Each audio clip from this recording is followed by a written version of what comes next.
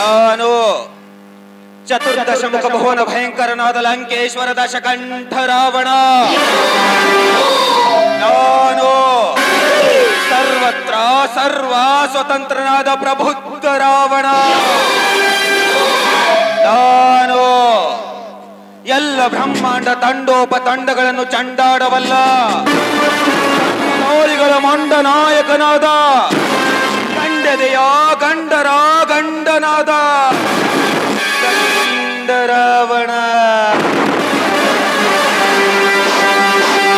ಮನೆಗೆ ತಕ್ಕ ಮಗನ ಆಗಬೇಕೆಂಬ ಮಮಕಾರ. ಹೆತ್ತವರ ಕರುಳಲ್ಲಿ ತುಂಬಿಕೊಂಡಿದ್ರು. ಕಾಡುವುದು ಹತ್ತಾರು ಮನೆಗಳನ್ನು ಮುರಿಯುವ ಕುತಂತ್ರದ ಕಾಳಗ. ಹೆತ್ತವರಿಗೆ ಬೇಕಾಗಿರುವುದು ನ್ಯಾಯ, ನೀತಿ, ಧರ್ಮ. ರಕ್ತ ಹಂಚಿಕೊಂಡು ಹುಟ್ಟಿರುವ ಈ ಮಹಾಂತೇಶನಿಗೆ ಬೇಕಾಗಿರುವುದು. ಹೆಂಡ ಖಂಡ ಕಂಡ ಕಂಡ ಯೌವನದ ಹೆಣ್ಣುಗಳ ಶೀಲ ಮಾತ್ರ ತವರಿಗೋ ಹೆತ್ತ ಮಗನಿಗೋ ಎಷ್ಟೊಂದು ಅಂತರ.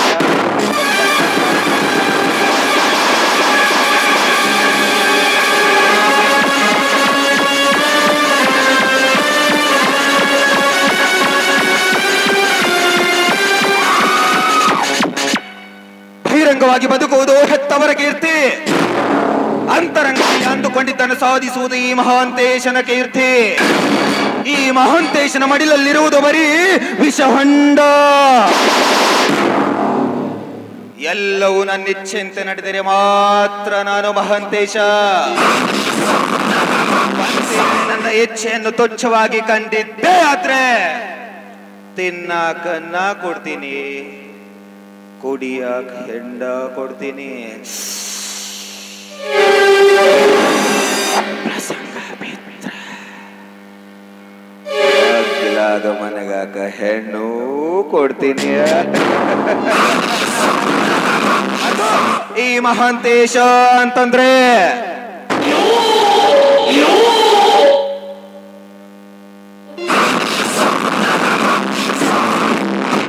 ನಾನು ಹೋ ಅಂದ್ರೆ ಪ್ರೇಮಿ.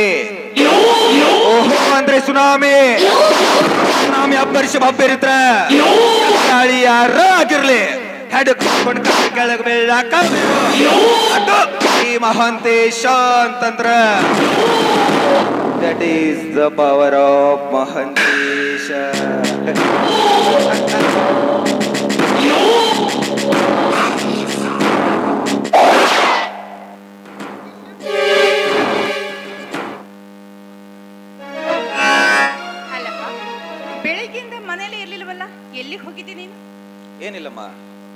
ಮನೇಲಿ ಕುಳಿತುಕೊಂಡು ಬೇಜಾರಾಗಿತ್ತು.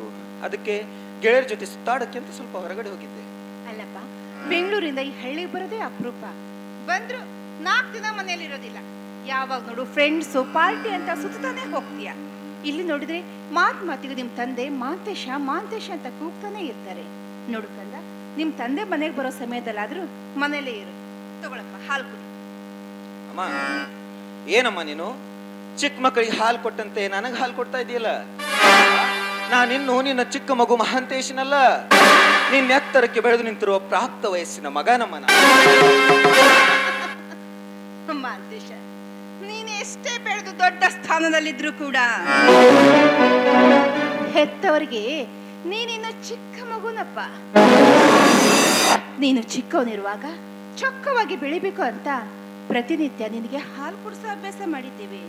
ಹಾಗೆ ಆ ಅಭ್ಯಾಸವನ್ನು ಇನ್ನೂ ಕೂಡ ಮುಂದುವರ್ಸ್ಕೊಂತ ಬಂದಿದ್ದೀವಿ. ಮೇಲಾಗಿ ತಾಯಿ ಕೈಯಿಂದ ಹಾಲು ಕುಡಿಯೋದು ತಪ್ಪಲ್ವಲ್ಲ ಮಾಂತೇಶ ಅರ್ಥವಾಯ್ತಮ್ಮ, ಅರ್ಥವಾಯ್ತು. ಹೆತ್ತವಳ ಪ್ರೀತಿ, ವಾತ್ಸಲ್ಯ, ಮಮತೆಯನ್ನು ಅರಿಯದೆ ಏನೇನೋ ತಪ್ಪಾಗಿ ಮಾತನಾಡ್ಬಿಟ್ಟೆ. ದಯವಿಟ್ಟು ತಪ್ಪಾಗಿ ತಿಳ್ಕೊಳ್ಬೇಡಮ್ಮ. ಇನ್ನು ಮುಂದೆ ಊರಿಗೆ ಬಂದಾಗ್ಲೊಮ್ಮೆ ನಿತ್ಯ ಈ ನಿನ್ನ ಅಮೃತದ ಹಸ್ತಕದಿಂದ ಹಾಲು ಕುಡದೆ ಹೊರಗಡೆ ಹೋಗುವೆ. ತಾರಮ್ಮ ಹಾಲು.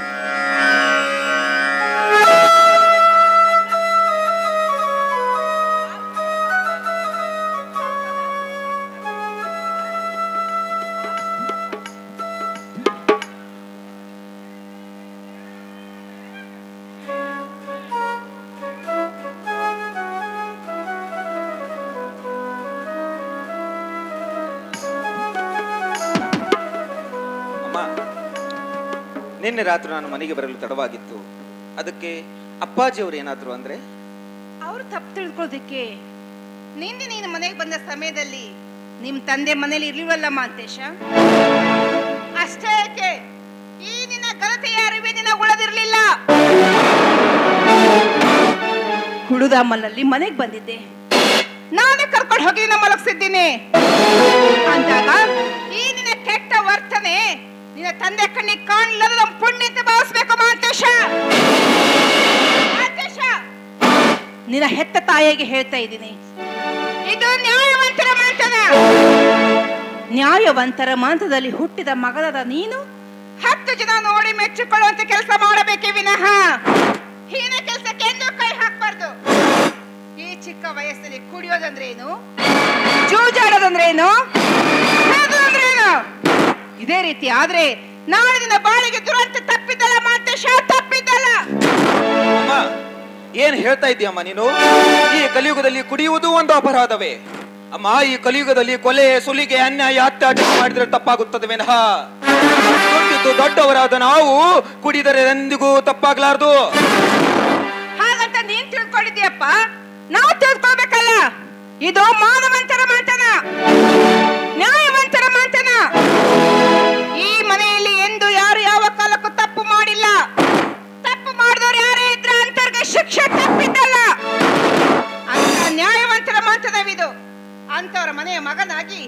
ನೀನು ಅದೇ ದಾರಿಯಲ್ಲೇ ನಡಿಬೇಕು. ಒಂದು ವೇಳೆ ತಪ್ಪಿ ನಡೆದ್ರೆ ನಿನ್ನ ಬಾಳು ದುರಂತ ತಪ್ಪಿಲ್ಲ ಎಚ್ಚರ ಮಾಂತೇಶ ಎಚ್ಚರ. ಅರ್ಥವಾಯ್ತಮ್ಮ ಅರ್ಥವಾಯ್ತು. ಮುಂದೆ ಯಾವ ತಪ್ಪಾಗ್ಲಾರ್ದಂತೆ ನಡೆದುಕೊಳ್ಳುತ್ತೇನೆ. ಒಂದು ವೇಳೆ ನಿನ್ನೆ ರಾತ್ರಿ ನಾನು ಕುಡಿದು ಬಂದಿರುವುದಕ್ಕೆ ಶಿಕ್ಷೆ ನೀಡುವುದಾದ್ರೆ ಇದೇ ನಿನ್ನ ಕೈಗಳಿಂದ ನನ್ನ ಕೆನ್ನೆಗೆ.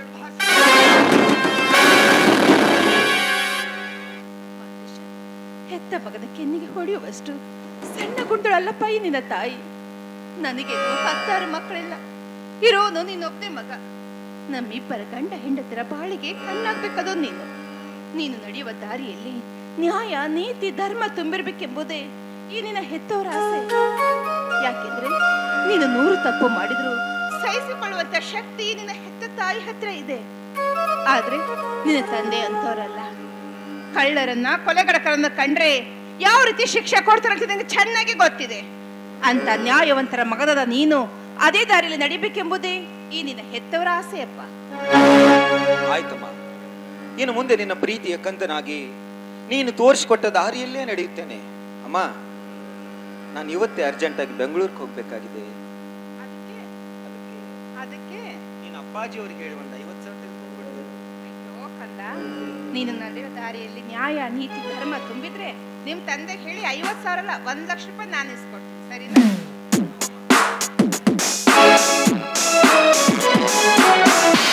ಏನು? ತಾಯಿ ಮಗ ಇಬ್ರು ಸೇರಿ ಏನೋ ಗಂಭೀರವಾದ ಆಲೋಚನೆಯಲ್ಲಿ ಮುಳುಗಿದಂತೆ ಕಾಣಿಸ್ತಾ ಇದೆ. ಮಾಂತೇಶ ಬೆಂಗಳೂರು ಹೋಗ್ತಾರಂತೆ. ಅದಕ್ಕೆ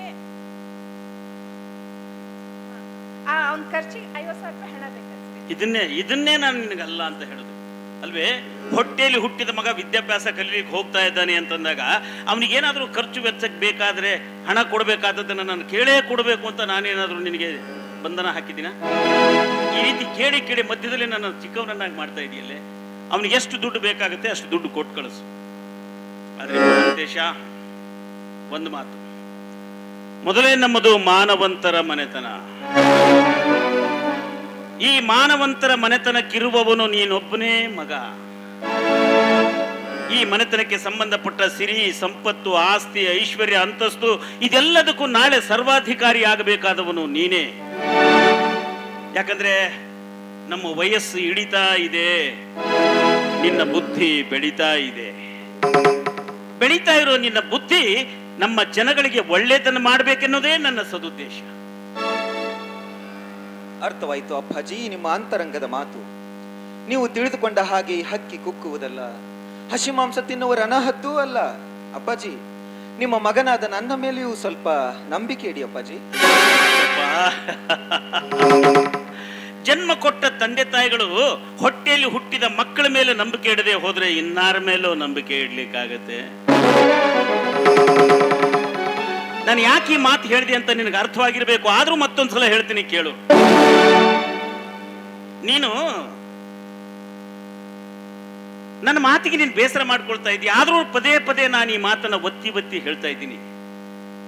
ಲಕ್ಷಾಂತರ ಜನರಿಗೆ ಪುರಾಣ ಪ್ರವಚನಗಳನ್ನ ಹೇಳಿ ಸನ್ಮಾರ್ಗಕ್ಕೆ ಹಚ್ಚುವ, ಮಠದಲ್ಲಿ ಬೆಳೆಯುವ ಸಂಸ್ಕಾರವಂತ ಗಿಡಿ ನೀನಾಗಬೇಕೆನ್ನುವುದೇ ನಿನ್ನ ತಂದೆ ತಾಯಿಗಳ ಆಸೆ.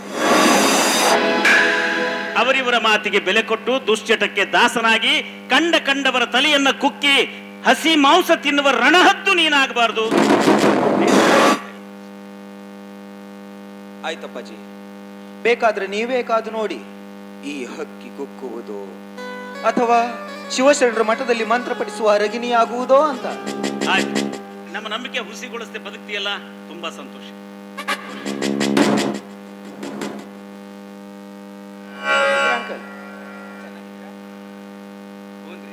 ನಿಮ್ಮ ಪುಣ್ಯದಿಂದ ಬಿಲ್ಕುಲ್ ಚೆನ್ನಾಗಿದ್ದೀನಿ ನೋಡ್ರಿ. ಅಂದಂಗ. ಗೆಳೆಯರ, ಎಲ್ಲಿ ಗಂಟೆ ತಯಾರಾಗಿ ನಿಂತಿರಲ್ಲ? ಏನಿಲ್ಲ ರುದ್ರ ಅಂಕಲ್. ನಾನು ಇವತ್ತೇ ಅರ್ಜೆಂಟ್ ಆಗಿ ಬೆಂಗಳೂರಿಗೆ ಹೋಗ್ಬೇಕಾಗಿದೆ. ಅದಕ್ಕಾಗಿ ತಂದೆ ತಾಯಿಯರ ಆಶೀರ್ವಾದ ತೆಗೆದುಕೊಂಡು ಹೋಗ್ತಾ ಇದ್ದೀನಿ. ಅಲ್ರಿ ಬರೋದು ಅಪ್- ಅಪರೂಪಕ್ಕೆ ಅವಾಗೊಬ್ಬ ಇವಾಗೊಬ್ಬ ಬರ್ತಿರ್ತೀನಿ. ಹಿಂಗ್ ಬಂದಿರ ಅನ್ನೋದ್ರಾಗ ಹೊಳ್ಳಿ ಬೆಂಗಳೂರಿಗೆ ತಯಾರಾಗಿ ನಿಲ್ತಿರಲ್ಲ. ಅಲ್ರಿ. ಇನ್ನೊಂದು ನಾಲ್ಕು ದಿವಸ ಐದು ಹೋಗಿ ಬರ್ತೀನಿ. ಇಲ್ಲ ಅಂಕಲ್ ನಾಳೆಯಿಂದ ನಾನು ಎಕ್ಸಾಮ್ ಸ್ಟಾರ್ಟ್ ಆಗ್ತವೆ ಅದಕ್ಕಾಗಿ ನಾನು ಇವತ್ತು ಅರ್ಜೆಂಟ್ ಆಗಿ ಹೋಗ್ಲೇಬೇಕಾಗಿದೆ. ಏನೋ ಅರ್ಜೆಂಟ್ ಕೆಲಸ ಇದೆ, ಪರೀಕ್ಷೆ ಬೇರೆ ಅಂತ ಹೇಳ್ತಾ ಇದ್ದೇನೆ. ಹೋಗ್ಲಿ, ಅದಕ್ಕೆ ಯಾಕೆ ನೀನು ನಡೀತಾರೆ ಉಂಟು ಮಾಡ್ತೀಯಾ? ಹೋಗು, ಒಳಗಡೆ ಹೋಗು. ಅದೇ, ನಿನ್ಗೆ ಗೊತ್ತಿದೆಯಲ್ಲ, ಬೀರು. ಇಲ್ಲಿ ತೆಗೆದು, ಅವ್ನಿಗೆ ಎಷ್ಟು ದುಡ್ಡು ಬೇಕು ಅಷ್ಟು ದುಡ್ಡು ತೆಗೆದುಕೊಂಡು ಬ್ಯಾಗ್ನಲ್ಲಿ ಇಟ್ಕೊಂಡು ಬ್ಯಾಗ್ ರೆಡಿ ಮಾಡ್ಕೊಂಡು ಹ್ಮ್?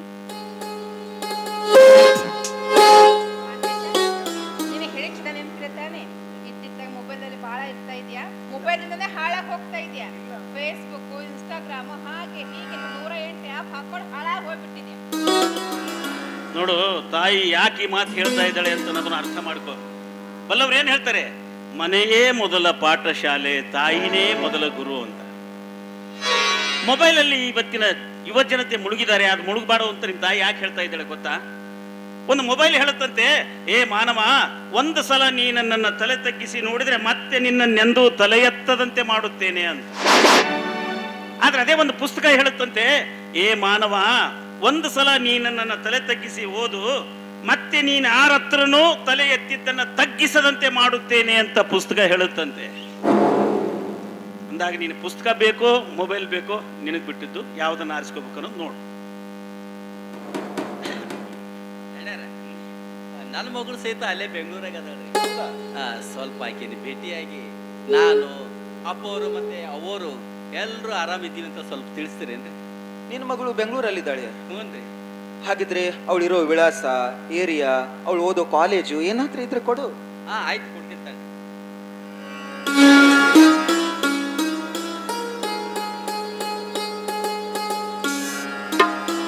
ಛೇ ಮರ್ತು ಮನೆಗೆ ಬಿಟ್ಟು ಬಂದಿದ್ದೆ. ನಡ್ಯಾರ ನೀವು ಇನ್ನೊಮ್ಮೆ ಬರ್ತೀರಲ್ಲ ಅವಾಗ ಕೊಡ್ತೀನಿ. ಬರ್ರಿ ನಿಮ್ಮನ್ನ ಬಸ್ ಸ್ಟ್ಯಾಂಡ್ ತನಕ ಬಿಟ್ಟು ನಾನು ಹಂಗ ತೋಟಕ್ಕೆ ಹೋಗ್ಬರ್ತೀನಿ. ಆಯ್ತು.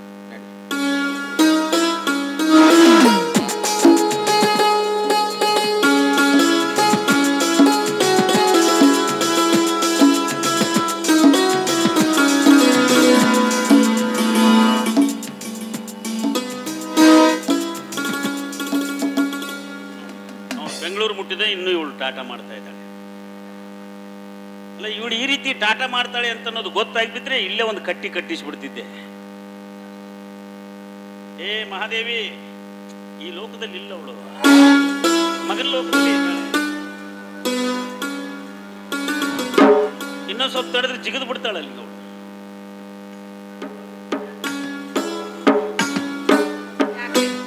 ನಿನ್ನ ಮಗ ಬೆಂಗಳೂರು ಮುಟ್ಟಿದ? ನನ್ನ ತಂದೆ ಈ ತಾನೇ ಹೋಗ್ತಾ ಇದ್ದಾನೆ. ಎಲ್ಲಿ ಬೆಂಗಳೂರು ಮುಟ್ಟಂದ್ರಿ ಅಲ್ಲೋಡಿ. ಹೇಗೆ ನೋಡ್ತಾ ಸುಮ್ಮ ಅವನ ಜೊತೆ ನೀನು ಹೋಗ್ಬಿಡು ಅಂದ್ರೆ ಚಿಂತೆ ತಪ್ಪಿಡುತ್ತೆ ಬೇಗ ಕಳಿಸ್ಬಿಡ್ರಿ ಅವನ ಜೊತೆಗೆ. ಕಳಿಸ್ರಿ. ಅವನ ಜೊತೆಗೆ ನಿನ್ನನ್ನು ಕಳ್ಸದ? ಏ ಆಯ್ತು ಇವತ್ತೇ ಹೋಗು. ಅದಕ್ಕಿಂತ ಮುಂಚೆ ನನ್ನನ್ನು ಒಂದು ಅನಾಥಾಶ್ರಮಕ್ಕೆ ಸೇರಿಸು. ನೀನು ಅಲ್ಲಿಗೆ ಹೋಗು. ಯಾಕ್ರಿ? ಮತ್ತೇನೆ ನೋಡು ನೀನು ಮಗನ ಮೇಲೆ ಎಷ್ಟು ಪ್ರೀತಿ ಇಟ್ಟಿದೀಯ ಅಂತ ನನಗೆ ಚೆನ್ನಾಗಿ ಗೊತ್ತು. ಮಕ್ಕಳ ಮೇಲೆ ಪ್ರೀತಿ ಇಡೋದಕ್ಕೊಂದು ಅರ್ಥ ಇರುತ್ತೆ. ತಂದೆ ತಾಯಿಗಳು ಮಕ್ಕಳ ಮೇಲಿಟ್ಟ ಪ್ರೀತಿ ಮಕ್ಕಳ ಬದುಕಿಗೆ ಸಾಧನೆಯ ಸಿದ್ಧಿಗೆ ಯಾವತ್ತು ಅಡ್ಡಗಲ್ಲ ಆಗಬಾರದು ಅವ್ರಿಗೆ ಒಳ್ಳೇದಾಗಬೇಕು ಅನ್ನೋದೇ ನನ್ನ ಆಸೆ. ಬಾ ಬಟ್ಟೆ ಉಂಟು ಊಟಕ್ಕೆ